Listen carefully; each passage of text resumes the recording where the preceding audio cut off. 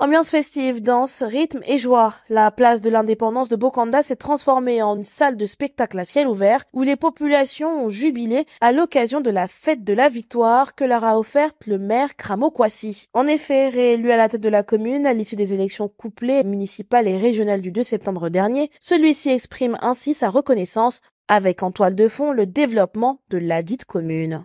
Bokanda a bénéficié effectivement de l'appui des ONG euh, qui luttent contre le changement climatique et euh, un document de stratégie de développement de la ville en ville verte a été élaboré. Maintenant, il s'agit de chercher les financements.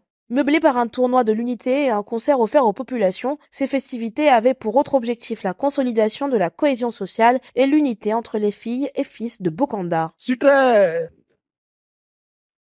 satisfait de la cérémonie d'aujourd'hui parce que ça va dans le sens du développement.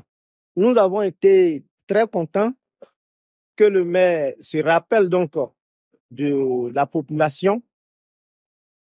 Aussi, il faut dire que cette fête, c'est nous qui la devons à monsieur le maire, puisque nous avons vu son premier mandat.